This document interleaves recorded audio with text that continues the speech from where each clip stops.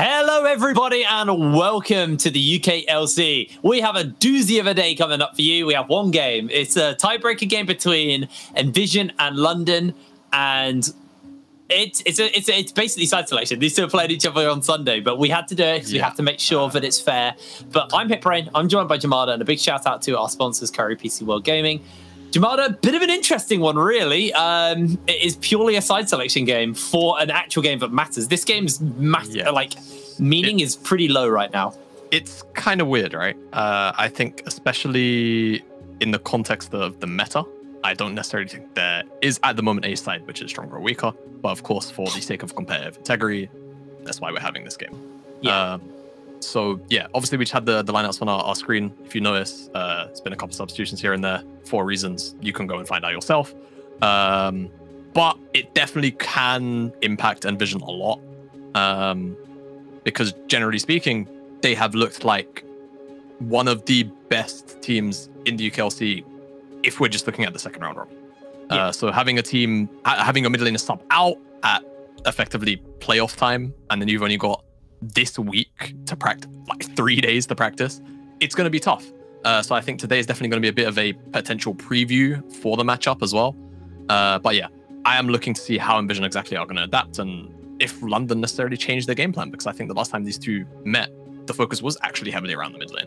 Yeah, I, I'm genuinely curious whether or not they do look to target faded in the mid lane and just play around that because Beely has. We were asked to do. Uh, it was for Lucent, I believe, for their for their show you know, the yeah. our, our, tier lists, and I put Beely at the top on my mid lane tier list. I was asked for three names, and Beely was the top mid laner for me. His LeBlanc performances, which has been banned pretty consistently on him in the latter half of this split, have been stellar. They've been incredible. So I wonder whether or not we just see some mid lane bans from the side of London, and they just look to get Beely unlocked on the map. The Xin Zhao is going to get taken away. The Graves is going to get taken away, and now we'll see what the next what the next bans are going to be. Yeah, and Vision actually have been prioritizing the Graves a little bit. Uh, I am still kind of wondering whether we're going to see Graves slip back into the mirror because again, 2AD, very powerful. I think you know uh, he does fit well considering a lot of compositions at the moment in the mirror are very short ranged. Uh, so NVision do seem to like that pick, but London are going to remove that away on top of the Ziggs, which we know Fuyu does love. Uh, and we've seen Ziggs pop off way too many times here at the UKLC. It feels like quite a few of our teams in the middle of the pack in particular weren't too great at closing out. So pick yeah. delaying the game. Uh, you don't want to have something like that. And uh, from the side of NVision, I think the LeBlanc ban and the Zhao ban make a whole bunch of sense, trying to remove any agency that you can away from this London mid jump. Well, there goes the Viego. So the Gwen and the Lucian are open. They're kind of the two big champions I'm looking at. I know there's a bunch of really strong ones left open, like the Aurelia, but we'll see what the trade-off is going to be. Is Akers going to pick up this Gwen? To me, I feel like he's not a massive Gwen player, but you I, I could be wrong there. I actually feel like, if anything, London would potentially prioritize the Lucian higher. Yeah. If we're looking at just those two picks as the options for London. There are still obviously other options. I beg your pardon. Uh, but yeah, there you go. We're going to see the Gwen come in. Uh, and now I look towards NVision because I say it feels the previous iteration of NVision. This is a Lucian plus X rotation. But yeah. does Faded play, uh, you know, Lucian? Does he play these aggressive uh, types of mid laners? Uh, we'll have to see. Uh, Thresh is also up, so we could see, you know, something like Thresh plus the jungler. Uh, loads of strong rotation options here for red side uh, when it comes to NVision. Uh, and even DBL's picks have come in in the first rotation too, so we'll have to see. Oh, Diana Sett could be really oh, nice oh, yeah. here. They actually just go for the Diana Tristana, still keeping that flexible. The Sett can go top lane or support if they want to pick it up. And we'll see what London decide to rotate here in this in this phase. I'm assuming we'll probably see maybe jungle mid, jungle AD. Um, I think you can quite happily leave that support pool open for a little bit longer, unless they really want to prioritize something like a Nautilus. But Jeppe, actually, yeah, Thresh is open. You literally just mentioned Thresh is open, and now I'm like, yeah, Thresh is pretty good here. So might just be Thresh jungle, uh, not Thresh jungle, like Thresh plus jungler. But then again, you got the Gwen, so no name can put that in the in the jungle role as well. Yeah, considering you got the Gwen, a lot of open ends here. You could just lock in your AD carry. There's no threat of having to deal with Ziggs. Tristana's already on the table. The worst case is Oldstone, lo- Oldstone's locks in the Nautilus, and that can be a bit of a pain in the backside to actually deal with. But quite frankly, I'll be okay. But Mankey's not really lent on a lot of these hyper carries, it feels like, for London. We've seen him more on utility picks more than anything else. Uh, so Lee Sin is going to come in. I more associate this with no name, so I'm expecting this Lee Sin to be no name. So of course the flexibility is still very much there. Yeah. Uh, and now it's over to NVision. I think when you look at this composition right now that London have got, you probably just look to, to lock in Nautilus just because it gives you that RTC, uh, it gives you the setup, uh, and of course, pretty decent matchup in general, one to one when you're talking about being able to ultimate the person yeah. likely to take that Landon. And straight away, Aphelios ban could, of course, see another follow up hype carry ban, or even the Varus as well, away from rank is one of the few champions he's paired with the, the Thresh pairing. All right, let's see what's going to be coming in next here. Is going into that ban phase, can take away the Aphelios. I think that's understandable. And there's a Thresh open. These kind of hyper carries that are very low mobility could be problematic. I'm assuming we'll probably see something like a Varus as well come out as the Kassadin banned away from Fade. So a bit of target banning coming on here. And I think they're waiting to see kind of what this comp looks like before they look, lock something in for Beely in the mid lane. Obviously, they could put that Lee Sin there. They could put the Gwen there as well. So they have a bit of flexibility to work with on that front. Yeah. Probably going to just see a Varus ban. No, they go for the Seraphine. So okay. denying yeah. some of that kind of utility you were talking about on the side of Mankey. Yeah, Mankey, one of the few bottom laners in the league that has played the Seraphine bottom lane. So uh, not too surprised to see that one removed away. Like I said, Mankey for this London team has been more focused around utility. Um, and we did actually see on Twitter he was saying he's been struggling with internet connection. So I actually think that might be why London have decided to put him on sort of utility duty. Uh, but even when we've seen him on the more carry-based champions, he's definitely put in the work. But yeah, Cassiopeia, another faded champion. Uh, it seems like the focus is going to be there. And I wonder if this is setting up for anything specific because these are very specific bans when you're talking about mid lane. So yeah, uh, it says to me potentially that No Name might actually be running the Gwen and they want to run another mage in the mid lane uh, if they're banning away things like that. But yet to see DBL gonna lock in the Camille. So feeling pretty confident regardless of what matchup he ends up with, whether it's the Lee Sin or the Gwen, of course, a little more based around split pushing. So curious to see how NVision are gonna round out their comp when it comes to locking in Faded champion uh, because Camille, she's not really the best team fighter, especially when you've got so many of these peel tools. The Karma on top of that now, Lee Sin Kick, Thresh existing as a champion, it can be difficult to navigate these fights. Well, I think that means we're probably going to see the Karma in the mid or the top from the side of Beely. Um, so just expecting an AD carry to get picked up here, unless this is support or like bot lane Karma with a Thresh. That is potentially an option. It is Mankey, so you know I didn't even know what's going on. And we've got two seconds until this comp is finally rounded out. The final pick is going to be the Sylas, So yeah. it is going to be the Thresh Karma bot lane. Yeah. I mean, again, Mankey, they've put him on a lot of utility duty so far this split. Uh, and it seems like we will continue with that trend. Sylas is going to be out in the mid lane. Uh, potentially a risky blind, but maybe they're taking away from Faded because this is, at least to me, I think the first time I've seen Beely run Sylas in the UKLC. I don't think he's run it before this. Uh, and Faded will respond to the Ryze. So honestly, Sylas value here, not too terrible. You've got a couple of very decent lockdown ultimates, uh, a couple of decent mobility ultimates as well. Uh, a lot of burst can come out there. I think London, when it comes to the top side, the skirmishing is going to be really, really powerful. Uh, the bottom lane priority can certainly be theirs, but I feel like when you're talking about Tristana and Nautilus, the kill threat there, you might want to back away. Uh, and on the side of NVision, I think definitely waiting towards six so you can have some of those more easy to execute lockdown tools available because you know, Ryze being able to port over to a side lane where you've got the Camille Armor and the Nautilus, like guaranteed point and click CC. Uh, seems very, very powerful. So I'm looking towards level six to start to see NVision be a little more proactive on the side lanes. Well, there we are. The top comps are locked in. Um, been a little while since he's seen the Ryze. I'm curious, how, curious about how he's going to be able to handle this versus Beely on that pretty aggressive pick like the Sylas. Uh, fair few decent ultimates for him to take away as well. You've also got the uh, the Moonfall, you can also take the Ryze ult, which is pretty useful for just team utility. Nautilus ult is pretty nasty. Got, got honestly quite a few pretty solid ultimates for him to steal away on this game. And, you know, it's going to really be on to NVision to see how they can kind of handle this because obviously you are playing with a new player. You know, eh, there is no way be of beating around the bush. You're going into playoffs with a brand new mid laner. So it, it's going to be it's going to be also oh important for them to try and, you know, see how on, on form they're going to be and how they pair up to someone like London because this is the team they're playing against and this could be the last team they play against this split. If they can find the win, though, especially in convincing fashion, it'll be a really, really big morale boost for the side of NVision.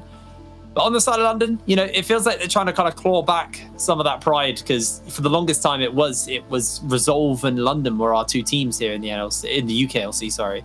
So you know, for them, they wanted to make that finals, and Resolve could just get knocked out by MNM, as that's the other playoff game we've got. Yeah, we could realistically see both of our finalists being knocked out in the semifinals. I think NVision, it's going to be about how they adapt in the next couple of days. But if they are able to achieve similar form in the second round robin, it wouldn't be surprising to see you know MNM and Vision in the finals. Um, Yeah, absolutely. So yeah, I definitely look towards you know London Seed how how they will do in this game in particular. Because again, bit of a preview, right? Bit of a preview, uh, and we're seeing new picks already come out of a couple of these guys via the Sylas, uh, Mankey. I feel like Mankey has registered a Karma game, but memory doesn't serve me properly, and I don't. It's hard with Mankey because he does have a uh, He he's, does he's, played, he's had a unique champ pool, let's say.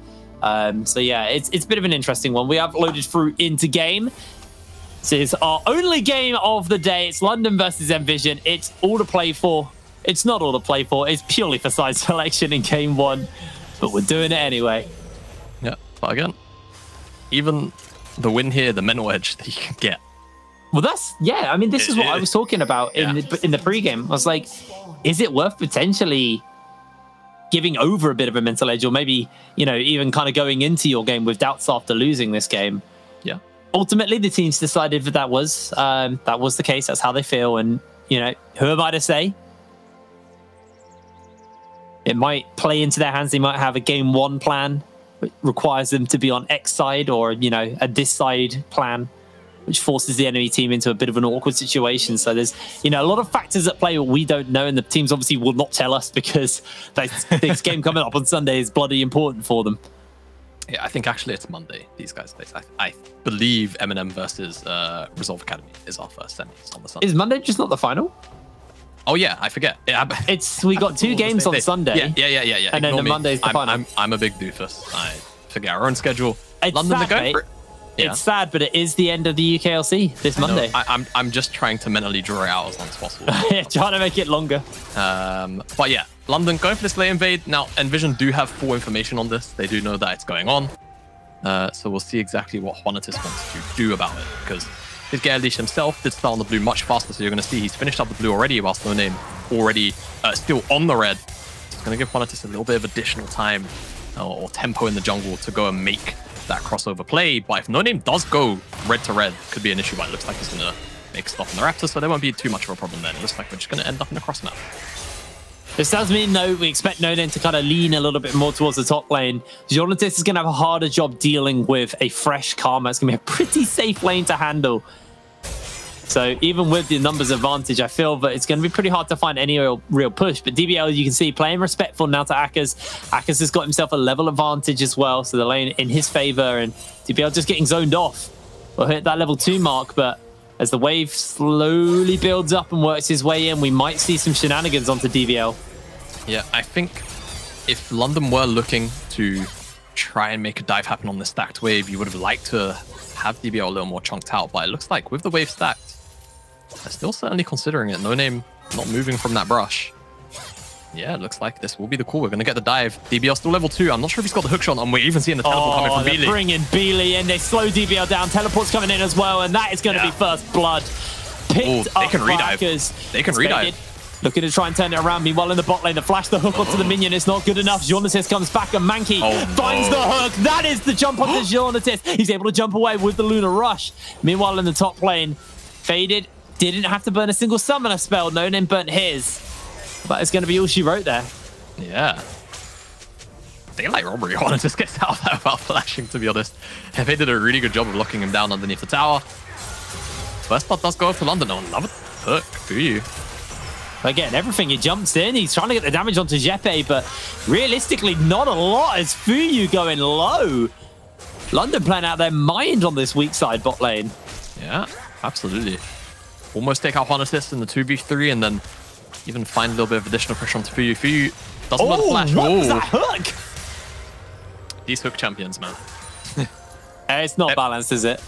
No, Hebe was walking up, but he didn't quite have enough mana as well to uh, cast the Death Sentence. So these guys, despite being on the weak side, uh, oh, come on.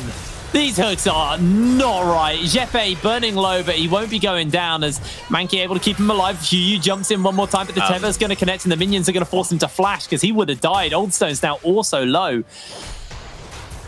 These hooks from Old Mankey. Stones are... Mankey Q flash. No, He- I think he's waiting for Mantra just to make sure. I guess. Yeah. I mean, yeah. These I hooks very, very interesting. I agree. Uh, Oh.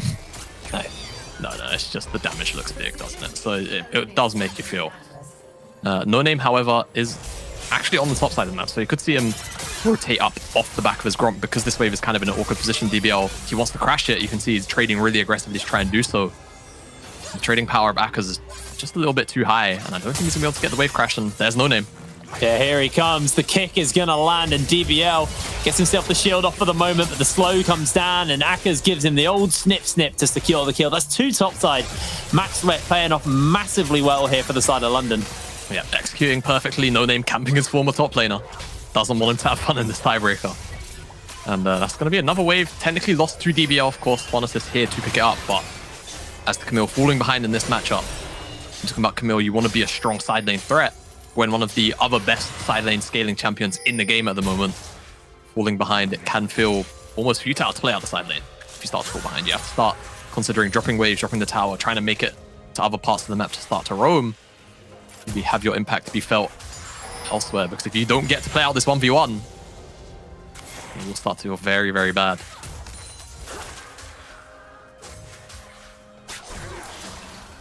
Not going to find a hook.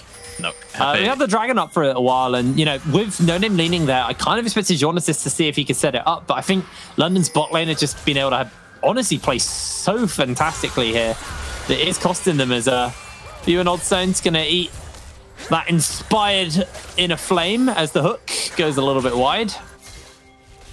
Yeah, but actually faded in mid lane priority. I don't know if he exactly knows. He's just getting the plot, so. Uh, he's going to see the rest of London show up. And Jeppe comes in, gets himself the jump back. Beely has the moonfall. And it is just not faded stays. He fades out of existence and back to the grey screen. Jeppe lands oh. the hook, goes in to pull it back. Beely still has that moonfall, but they're not going to pull it onto Jonatis. Yeah, these hook, honestly, Oldsons and Jeppe, hats off to them. They are both playing these hook champions fantastically well. Yeah, absolutely. Jeppe known for his thresh, right? Uh, as far as supports go. Thresh and Nautilus both. His hooks have been very stellar when he's on these two champions. Old Stones well, actually, same thing can be said about him and has been one of the sort of silent, or depends on how you look at the games, but to me, one of the silent reasons NVision have found so much success when it comes to playmaking. Yeah. You know, I think I might have put Jeppe as my number one support in the. Uh... That is an incorrect opinion. Sorry. I can't remember. I'll have to check. Yeah, no, I mean, uh, I'm going to be doing a tier list after this, after this tiebreaker. Uh, oh, no, I didn't. Be, no, I didn't.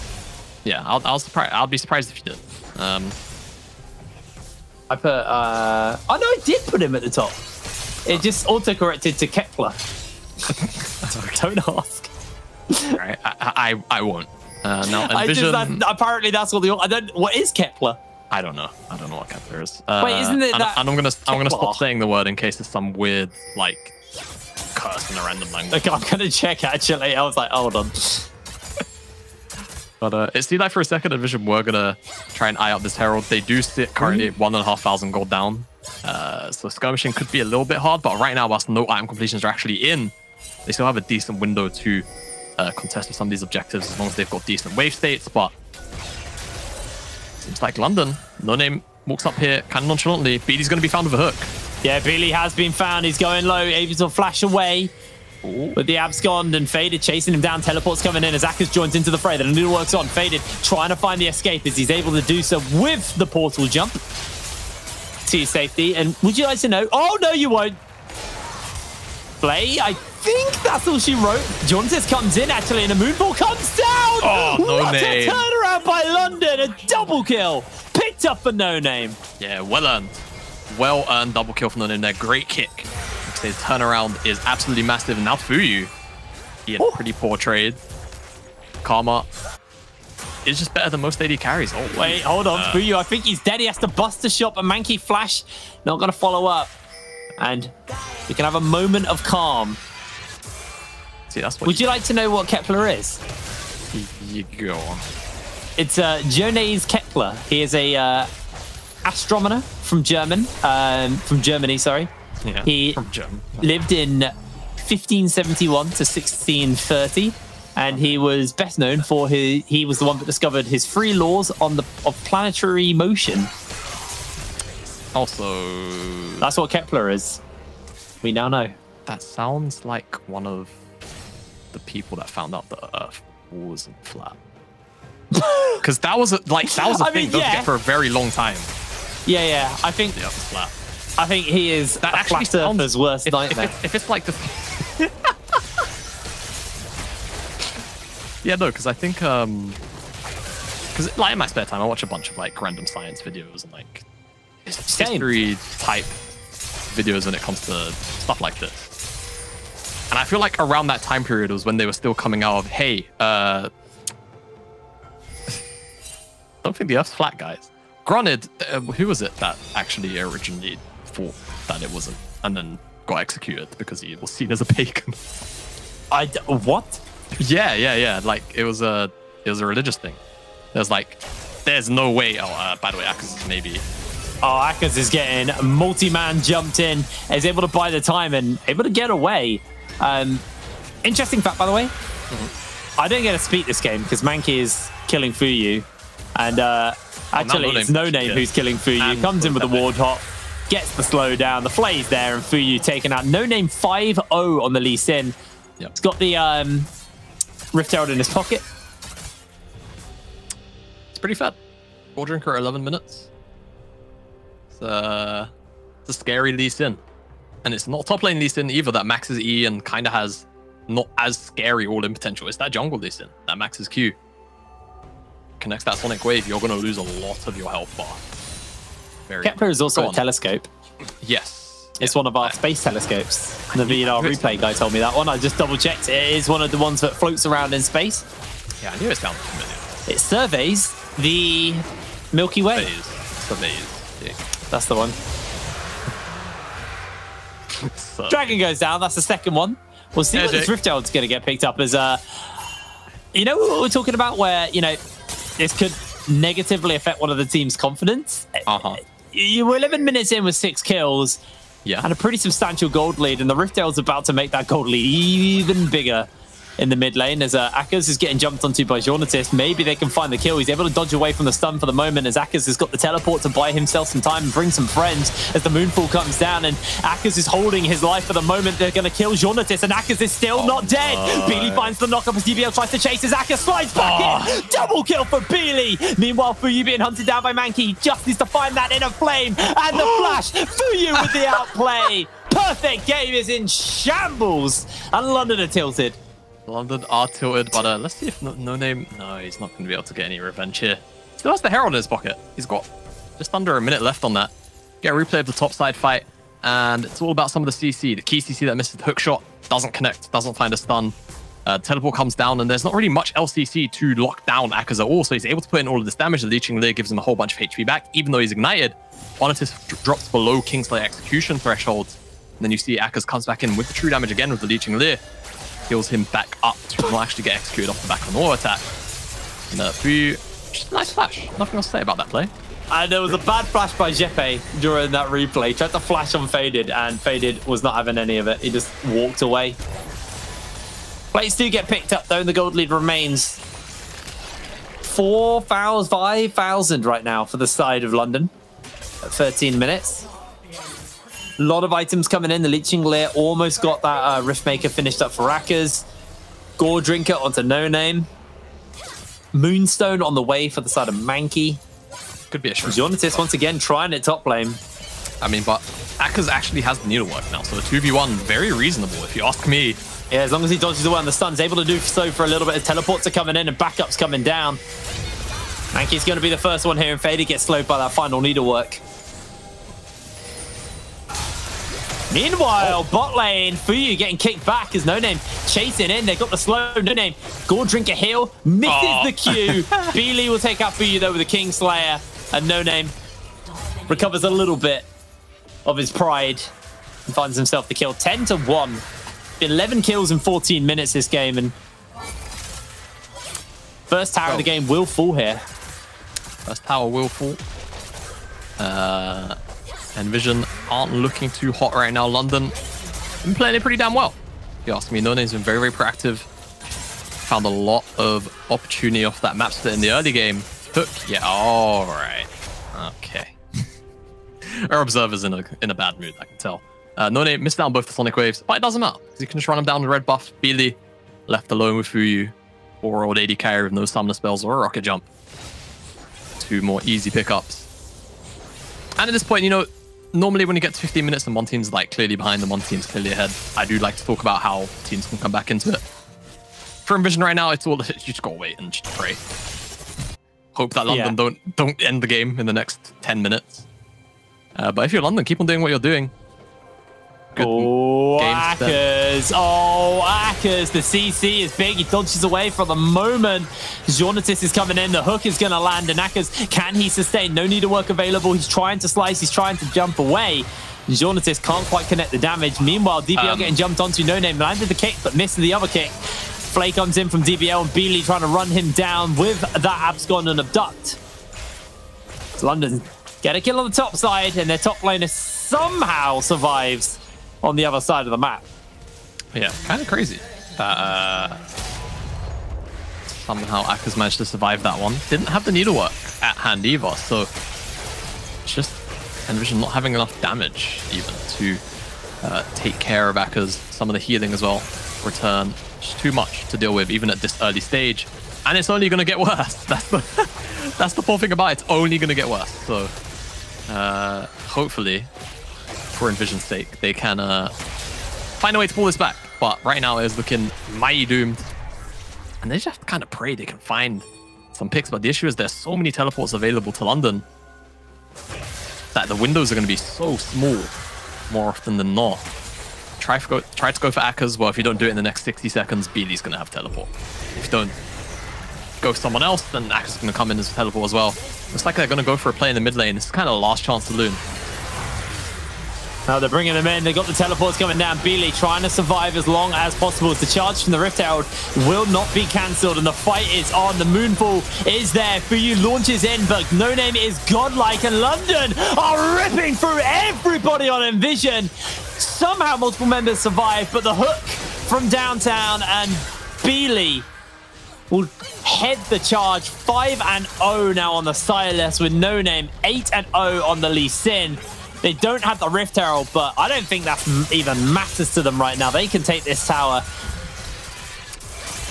Do tiebreakers count as the regular season? Uh, I think so. Can we can we get a double check on that from uh, from admin? Because I want to know because we're we're maybe eyeing up the fastest game of the split at the moment.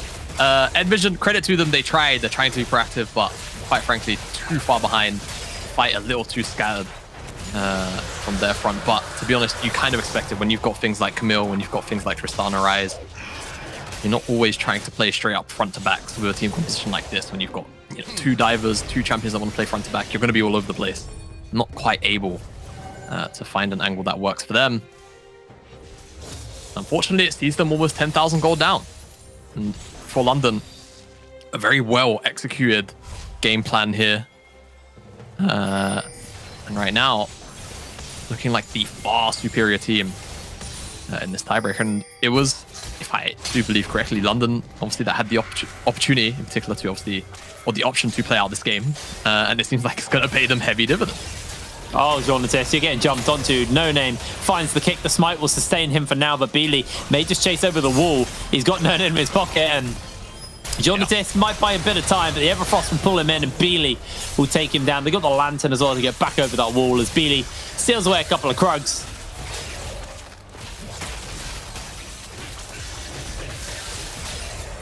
Yeah. NVision, uh, looking like we're waiting until Sunday to see NVision show. and you know, I don't think this is because they got a new mid laner. No, I, this, this faded. Sure, he's now zero with free. Uh, player to player. No. I, I, this sure faded zero three, but that's kind of more just a side effect of the fact that No Name got really fed and a really really smart map split from the side of London when they knew that their bot lane were going to be really safe and they could just constantly dive DBL and then that that lead was then translated across the map and it's now put NVision in this state where they, they, they need to find an answer. I think the thing is, the issue with that draft is there's not really an answer. As okay, Fuyu loses oh. half his HP, Sonic Wave in the knee, plus a Gold Ring proc. Uh, again, it's not the uh, what's the? Uh, I'm trying to think of the meme. You know, you get like Chad. Okay, uh, Cold Stones.